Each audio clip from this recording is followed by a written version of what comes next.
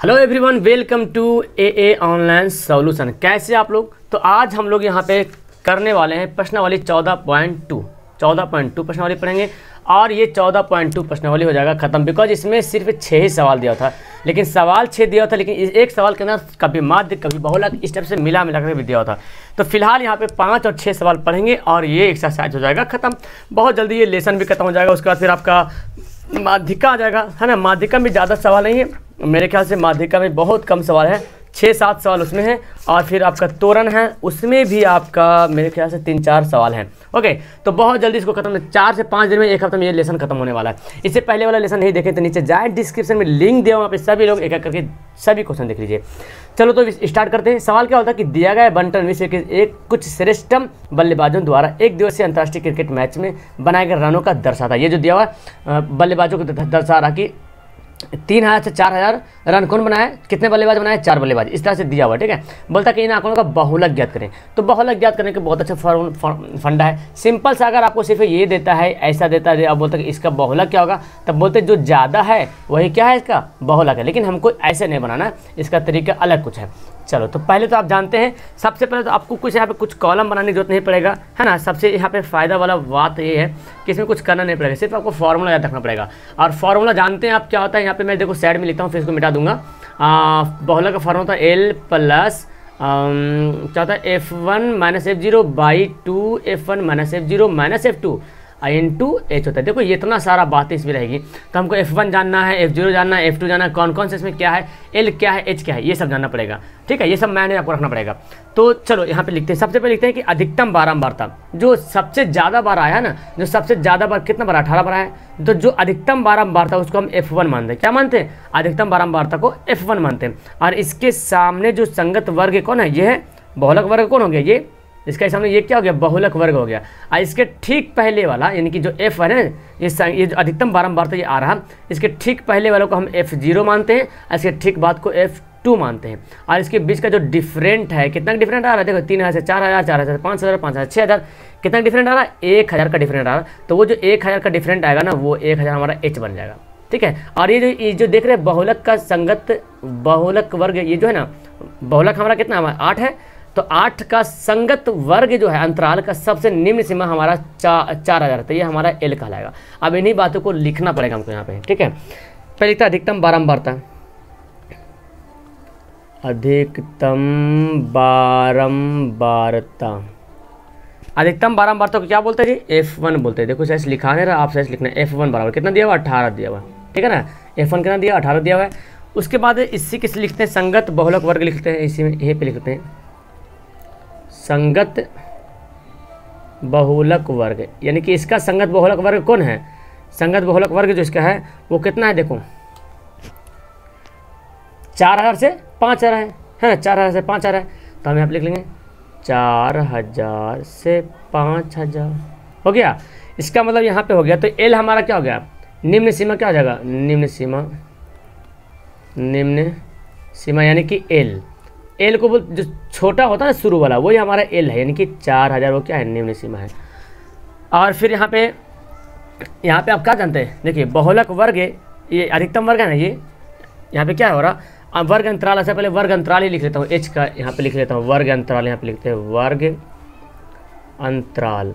तो वर्ग अंतराल को क्या बोलते हैं? वर्ग अंतराल को एच बोलते हैं एच यानी कि इन दोनों इसका डिफरेंस कितना का है, देखो कितना डिफरेंस आ रहा है? एक हज़ार का आ रहा तो हमारा क्या कहलाएगा? एक हज़ार कहलाएगा वर्ग अंतराल ऐसे लिखना आपको, ठीक है? क्योंकि ये सवाल आपको मिलेगा पाँच नंबर में तो जब तक लिखेंगे नहीं तो कैसे बना पाएँगे अब देखो, संगत वर्ग के, पहले के वर्ग की बारंबारता ये जो एफ़ ज़ीरो है, ये जो एफ़ ज़ीरो क्या है? संग, जो बहुलक वर्ग है यह ना हमारा है ना संगत वर्ग है। इसके ठीक पहले वर्ग की बारंबारता देखो जी। ये देख रहे हैं, संगत वर्ग, ये है हमारा, संगत वर्ग या बहुलक वर्ग है। इसका ठीक पहले ये है, इसका बारंबारता कौन होगा? चार होगा। ठीक है ना? तो आप ऐसे भी लिख सकते हैं। या तो अधिकतम बारंबारता के ठीक पहले बारंबारता, ऐसे भी लिख सकते हैं। लेकिन यहाँ पे तरीका इस तरह से लिखने का है कि संगत वर्ग के वर्ग के ठीक पहले वाले वर्ग की बारंबारता। इसको क्या बोलते हैं? एफ़ ज़ीरो बोलते हैं। और देखिए एफ़ ज़ीरो कितना दिया हुआ है? चार दिया हुआ है। है ना? चार लिखते हैं। फिर लिखते हैं संगत एफ़ वन एफ़ टू लिखना पड़ेगा। संगत वर्ग के ठीक बाद वाले वर्ग की बारंबारता इसको क्या बोलते हैं? एफ़ टू बोलते हैं। संगत वर्ग के ठीक बाद वाले बारंबारता को क्या बोलते हैं हम लोग? एफ़ टू बोलते हैं। एफ़ टू कितना हमारा नाइन दिया हुआ है। ओके सॉरी आपको बैकग्राउंड आवाज़ जा रही होगी म्यूज़िक वगैरह। ठीक है? तो फ़िलहाल आप क्या निकालना? बहुलक। इसलिए बहुलक। बहुलक का फॉर्मूला क्या था L plus F one minus F zero two F one minus F zero minus F two आपको लग रहा है कितना बड़ा फार्मूला बता रहे सर फार्मूला कुछ नहीं है। आप इसको बनाइएगा ना। इसको पंचे सवाल बना लीजिएगा। फार्मूला यूँ ही माइंड में सेट हो जाएगा। भूलिएगा भी नहीं, ठीक है? एल कितना दिया हुआ है? देखो एल दिया हुआ हमारा अट्ठारह सॉरी एल हमारे यहाँ कितना? हाँ चार हज़ार दिया हुआ है। तो हम लिख लेंगे यहाँ पे चार हज़ार। देखो अच्छा से बनाना इसको। चार हज़ार एल दिया हुआ है। एफ़ वन कितना दिया हुआ जी? तो एफ़ वन दिया हुआ अठारह। एफ़ वन मैं लिख लेता हूँ यहाँ पे। इसको मैं नीचे कर लेता हूँ ताकि दिख जाए। चलो एफ़ वन दिख दिख रहा है अट्ठारह और माइनस एफ़ ज़ीरो कितना है? चार। टू एफ़ वन यानी कि टू इंटू अठारह। माइनस एफ़ ज़ीरो कितना है? चार है। और एफ़ टू कितना है? नाइन है। इसको ऐसे घेर लेते हैं। और एच कितना है? इन दोनों का वर्ग अंतराल जिसको एच बोलते हैं, एक हज़ार। एक हज़ार, ठीक है? अब तो जानते हैं इसको क्या करना है।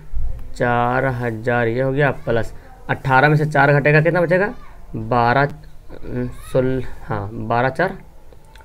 चौदह बचेगा सॉरी अठारह से चार गया, चौदह बचेगा। और ये देखो अट्ठारह दूना, छत्तीस और नौ चार, तेरह। घटा देंगे, तेईस आ जाएगा। इंटू एक हज़ार। इसका जितना भी आंसर आया ना, सब के सब पॉइंट में आएगा। अब पॉइंट में इसका भी आंसर आने वाला है। एक प्लस है। चौदह को गुना करेंगे एक हज़ार से तो चौदह हज़ार हो जाएगा, है ना? चौदह को जब गुना कर लेंगे एक हज़ार से तो ज़ाहिर से बात चौदह हज़ार हो जाएगा। ट्वेंटी थ्री अब क्या करो? इसको कर लो डिवाइड तो यहाँ पे डिवाइड कर लेते साइड में। चौदह हज़ार। तो तेईस का पढ़ा याद होगा तो आप तुरंत तुरंत बनाना। तेईस तिहत्तर, तेईस चौक बानवे तेईस पचास एक सौ पंद्रह तेईस छक एक सौ अड़तीस। तेईस छक एक सौ अड़तीस। कितना गया? दो। है ना, घट के? ये फिर तो यहाँ पे लग नहीं रहा, यहाँ तो आ नहीं रहा।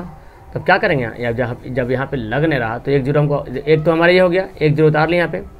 तो बीस हो गया, चूँकि यहाँ पे तेईस है तो हमको एक पॉइंट बैठाना पड़ेगा, ये ज़ीरो उतारना पड़ेगा। तो तेईस का तेईस तेईस चौक बानवे। तेईस चौक बानवे यानी कि नाइन्टी टू ठीक है, ये हमारा हो जाएगा। तो देखिए यहाँ पे कितना है। दस में से दो गया आठ, नौ में से नौ गया ज़ीरो, एक कितना बचा, एक बचा। और फिर आप ज़ीरो बैठा सकते हैं यहाँ पे। तो कितना, एक हज़ार हो गया। फ़िलहाल इसको हम ऐसे ही रहने देते हैं, ठीक है? सिक्स कितना, सिक्स पॉइंट फोर आ रहा। हमको इसको और बढ़ाना पड़ेगा आगे। ओ, सॉरी, मैं यहाँ पे शायद ये गलत कर रहा था। ना ये पॉइंट बैठाने की ज़रूरत ही नहीं था, छः हुआ ना। एक मिनट एक मिनट, ये मैं गड़बड़ा कर रहा था। ओके तो यहाँ पे 200 आ गया। पॉइंट नहीं बैठे जो खत्म होगा तब तो पॉइंट बैठेगा। तो तेईस से यहाँ पे देखो एक बार में एक ही पॉइंट उत, ज़ीरो उतारने का ऑर्डर होता है लेकिन हम दो ज़ीरो उतार लेना दो ज़ीरो होता है एक ज़ीरो बैठाएँगे यहाँ पे। तो तेईस सौ आठ एक सौ चौरासी होता है। कितना हो गया? छः और ये नौ में से आठ गया एक। खत्म हो गया पॉइंट बैठाएँगे ज़ीरो बैठाएँगे। तो यहाँ पे तेईस छक तेईस छक जानते हैं कि तेईस छक होता है एक सौ अड़तीस। और तेईस सात एक सौ इकसठ होता है ज़्यादा हो जाएगा। तो फ़िलहाल इतने ही रखते हैं। सिक्स ज़ीरो आठ पॉइंट छः। ठीक है? तो जोड़ दो। चार हज़ार पॉइंट ज़ीरो। ये कितना है? छः सौ आठ पॉइंट छः। छः जाएगा? आठ ज़ीरो छः चार। छियालीस ज़ीरो आठ पॉइंट छः लिखे। या तो अगर और कुछ यहाँ पे आएगा, आगे बनाइएगा तो आएगा तो इसको हम छः को सात भी बना सकते हैं। और फ़िलहाल ऐसे भी दीजिएगा तो आपका आंसर वही आएगा। समझ गए?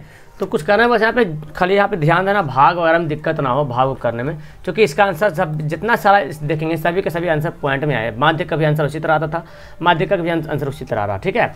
तो समझ में आ गया? चलो अब लास्ट सवाल पढ़ लेते हैं इसका। ओके तो देखो सवाल नंबर सिक्स है। बहुत इजी से सवाल, ये भी वही सवाल है।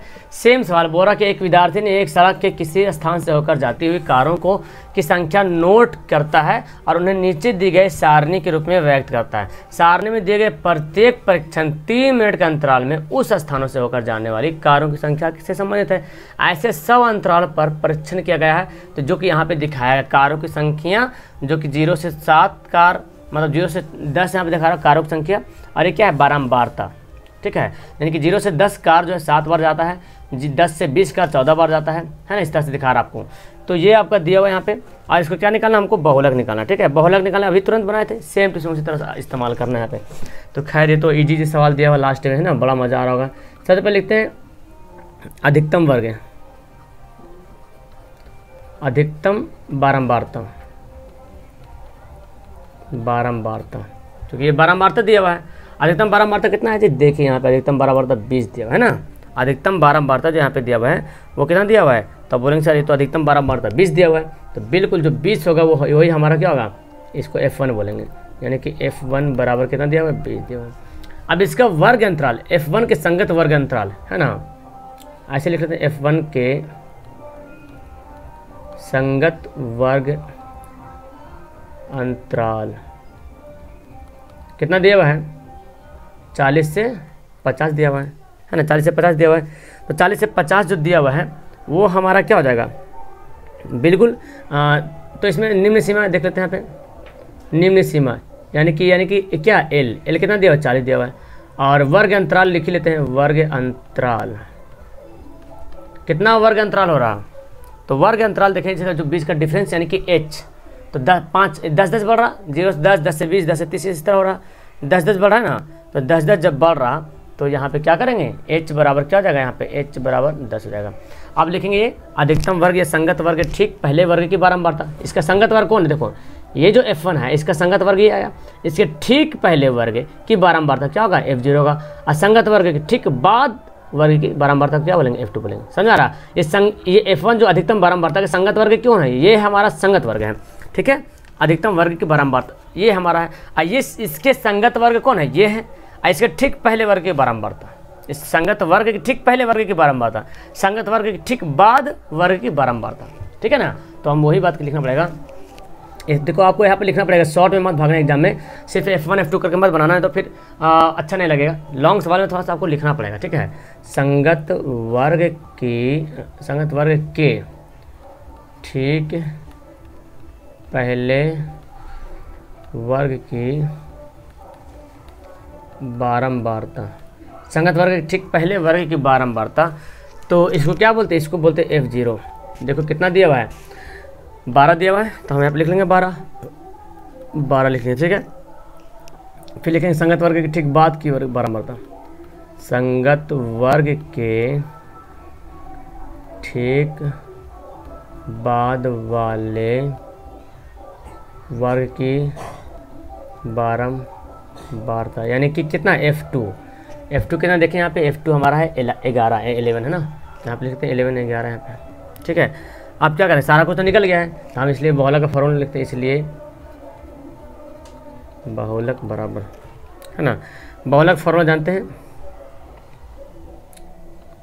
L plus F one minus F zero by two F one minus F zero minus F two into कितना? Into H. देखो एल कितना दिया हुआ जी? एल दिया हमारा चालीस। चालीस यहाँ पे लिख देते हैं। प्लस। एफ़ वन देखिए क्या दिया हुआ है? बीस। है ना? एफ़ ज़ीरो तो दिख रहा है आपको? तो एफ़ वन दिया हुआ हमारा बीस।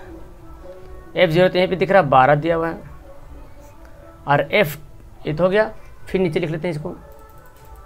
तो एफ़ वन अभी तो लिखे हैं टू इंटू बीस। एफ़ ज़ीरो तो दिया हुआ ये बारह। और एफ़ वन एफ़ टू कितना है? ग्यारह है। निकल गया इन टू क्या? एच हो गया। ठीक है। अब क्या करेंगे? इसको तो हल करना ज़रूरी है यहाँ पे। कुछ तो काम बचा नहीं है यहाँ पे। है ना ये जैसे यहाँ पे बच रहा। बीस में से बारह हटेगा तो आठ बचेगा। यहाँ देख लो, बीस दूना, चालीस। और ग्यारह, बारह कितना होगा? ग्यारह, बारह हो जाएगा आपको तेईस। है ना? घटा दो, सात में से तीन, दस में से तीन गया सात तीन में से गया तो सत्रह। है ना? सत्रह रहा? तो सत्रह गुना यहाँ पे एच कितना है? एच देखें तो अच्छा यहाँ पे एच मैं बैठाना दस है एच तो यहाँ पे एच बैठा दीजिए, यहाँ पे एच बैठा दीजिए। ठीक है?